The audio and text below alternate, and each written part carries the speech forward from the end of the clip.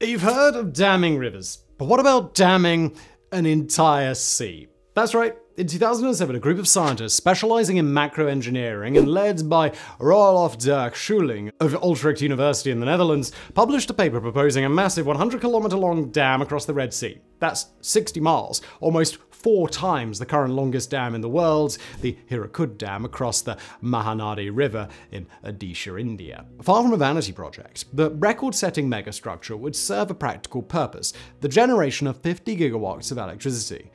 That's a lot. It's double the Three Gorges Dam in China, which is the world's largest hydroelectric dam and power station overall. In fact, the largest operational nuclear plant in the world, the Kori plant in South Korea, doesn't even reach 8 gigawatts, while many nuclear reactors produce less than one.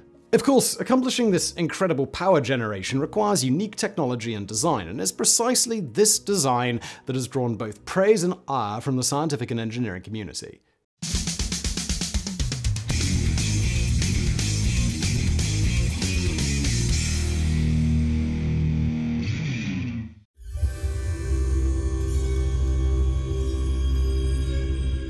There's no denying a dam on the Red Sea is an impressive and ambitious idea, but you may be wondering how it could generate so much power. After all, normal hydroelectric facilities are on running rivers, not seas, and therein lies the ingenuity of this mega project. The scientists involved in the dam's design don't call it hydroelectric, but rather they call it heliohydroelectric or HHE power. The idea is that the Red Sea could be closed off to the surrounding ocean, which it only connects to via the Bab al Mandab Strait or the Gate of Tears in the south and the man made Suez Canal in the north. Then, because the Red Sea receives little precipitation and river runoff, it would evaporate away at a rate of about 2.1 meters or 7 feet per year.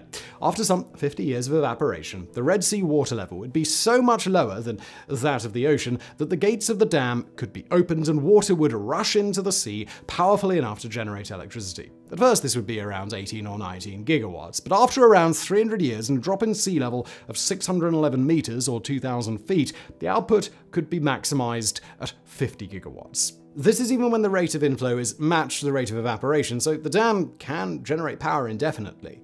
Plus, a second power station could be installed at the north end of the sea in the Gulf of Suez. Because uh, the Gulf is only about 70 meters or 230 feet deep, the initial evaporation of the Red Sea uh, would completely drain it and expose the sea floor. Then it would be easy to build a second dam there that could let in water from the Mediterranean Sea. This dam would be even closer to major population centers, so there would be less energy transmission loss over long distances. The 50 gigawatts of power from the southern Bab al Mandab Dam, in addition to a whatever could be generated from a northern Gulf of Suez dam uh, would be more than enough to meet the energy needs of the bordering countries of Egypt, Sudan, Eritrea, Djibouti, Saudi Arabia, and Yemen.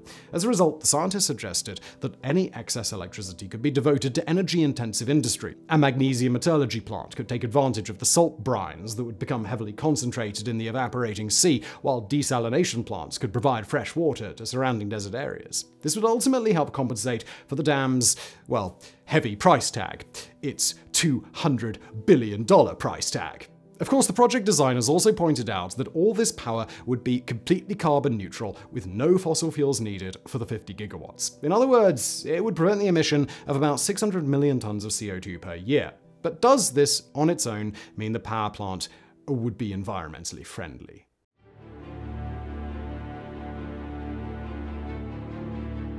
Building a dam this large would be more than just constructing a big wall. The scientists involved were quick to recognize a number of engineering obstacles. For one thing, the Red Sea is a tectonically active area, and it actually widens by about 9 millimeters each year, which equates to more than a foot over the initial 50 year evaporation period. As a result, the dam's foundation would have to be capable of expanding. On top of that, the load on the dam would be in constant flux. On one hand, the rapid evaporation would decrease the pressure, but on the other hand, the density of the sea would consistently increase due to the accumulation of salt brines, leading to more pressure. In fact, there would likely be a large accumulation of brine on the sea floor, which would also increase tectonic movements. Basically, the dam would have to be extremely flexible and made of rather elastic materials capable of stretching and bending. Altogether, the scientists recommended a southern dam at the Bab al Mandab Strait with a foundation of piled rubble and a sealed core a full kilometer wide, more than 3,000 feet, and 100 kilometers long, or some 60 miles Mars.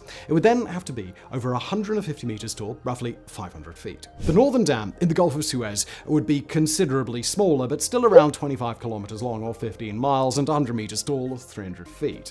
However, the engineering problems would be minimal compared to the political problems. Many countries either border the Red Sea or would be affected by changes to it. Perhaps most significantly, the project would relegate the Suez Canal to uselessness. Even after a power station were built in the Gulf of Suez to reflood the area, locks on the canals would have to lower ships nearly 100 meters, too much to be practical. Plus, the concentrated brines would be hard on ships' hulls and their mechanical components. A number of ports would no longer be operational, as well as Yanbu, Jeddah, and Port Sudan. Because some of these ports represent important access to maritime trade, not to mention the Suez Canal's economic importance for Egypt, these countries would have to be compensated through higher electricity allotments. Similar considerations would have to be given to the elimination of Israeli and Jordanian tourist sites on the Gulf of Aqaba. Finally, the authors point out that people would likely settle on the land uncovered by the lowered sea. In fact, with adequate desalination, it could even be an agricultural area for the otherwise arid region. However, these people uh, would then be in a precarious situation if the dam were to fail. There would have to be an extensive and sensitive warning system. Nonetheless, it's the ecological consequences that would prove to be the biggest obstacles to the project. They're also what has resulted in the proposal's widespread criticism.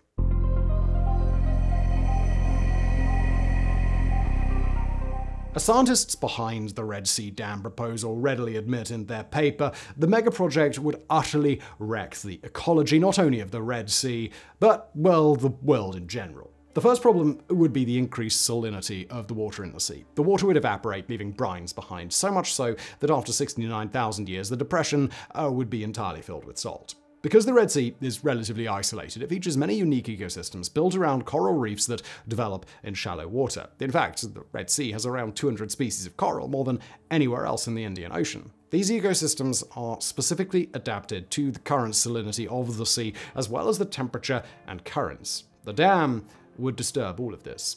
Even if the salinity itself didn't kill them, the destruction of the reefs would likely lead to the elimination of most of the 800 endemic fish species, 10% of which can only be found in the Red Sea. In other words, the dam could potentially result in the extinction of nearly 80 species of fish, such as the Red Sea clownfish, jewel fairy, basslet, and the masked puffer. Perhaps worse than the salinity, the Red Sea would simply dry out. Most of the coral reefs are located in particularly shallow waters, especially in the north, where the water would quickly disappear. The reefs would die and instead leave a layer of toxic, salty soil. Exposed to the air, wind could catch the salt sediments and blow them around the entire region, if not the whole world. This could harm agriculture in countless ways and decrease global food production. Worst of all, despite being carbon neutral, the Red Sea Dam would raise the world's sea level, and by a lot. All the water that evaporates out of the sea would inevitably be deposited back into the surrounding ocean, resulting in a net 12 centimeter rise in sea level over the initial 50 year evaporation period. After 310 years, the time it would take to maximize the power station's output, the rise would be 30 centimeters, about a foot, more than the total rise since 1880. This would likely lead to the flooding of coastal population centers all around the world. While the authors of the paper pointed out that this sea level rise doesn't seem as bad when considering the offsetting carbon emissions, environmental scientists like Peter Bosshard, policy director at the International Rivers Network in Berkeley, California, have argued that 50 gigawatts of electricity produced by dirty coal wouldn't result in such a severe rise in sea levels.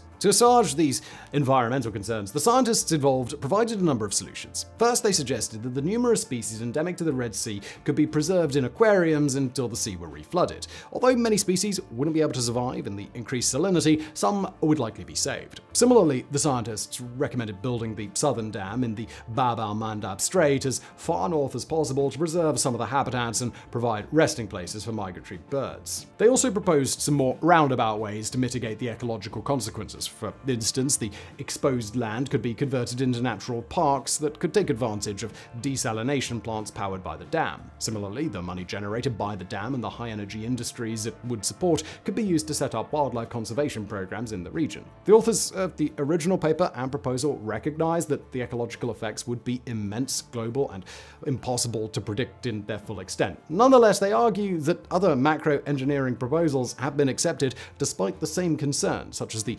extraction of natural gas from beneath the Wadden Sea. In fact, they claim that agriculture has resulted in far more ecological change than the Red Sea Dam would, yet we generally don't advocate for eliminating agriculture. Still, most of the rest of the scientific community were not convinced. Critics have called the proposal irresponsible, ludicrous, playing God. They've compared it to the drying out of the Aral Sea by the Soviet Union, considered one of the worst man made ecological disasters in history, and they cautioned that the consequences would likely be far worse than those the proposal already recognizes.